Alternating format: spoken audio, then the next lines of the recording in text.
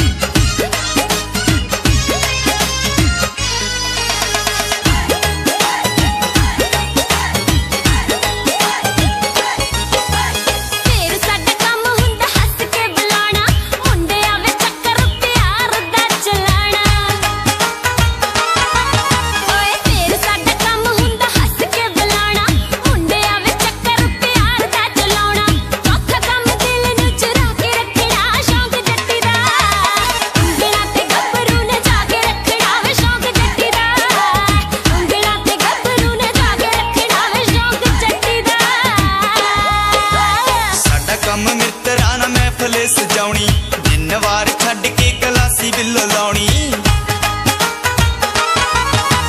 ਸਾਡਾ ਕੰਮ ਮਿੱਤਰਾਂ ਨਾਲ ਮਹਿਫਲੇ ਸਜਾਉਣੀ ਦਿਨ ਵਾਰ ਛੱਡ ਕੇ ਗਲਾਸੀ ਬਿੱਲੋ ਲਾਉਣੀ। ਚੌਥਾ ਕੰਮ ਸਿੱਖਿਆ ਚਨਾ ਨੂੰ ਕਰਨਾ ਨਹੀਂ ਸ਼ੌਂਕ ਜੱਟ ਦਾ।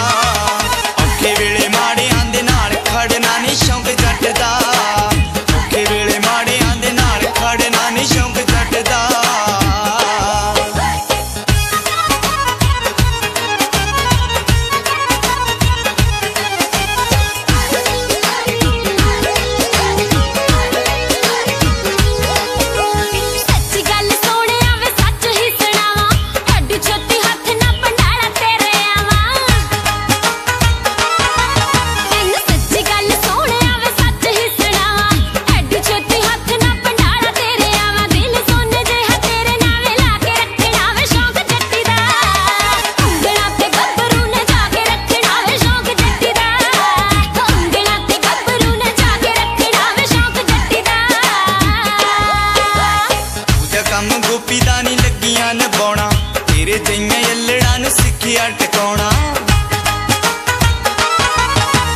ਦੂਜਾ ਕੰਮ ਗੋਪੀ ਦਾ ਨਹੀਂ ਲੱਗੀਆਂ ਨਿਭਾਉਣਾ। ਤੇਰੇ ਜਿੰਨੇ ਯੱਲੜਾਂ ਨੂੰ ਸਿੱਖਿਆ ਟਿਕਾਉਣਾ।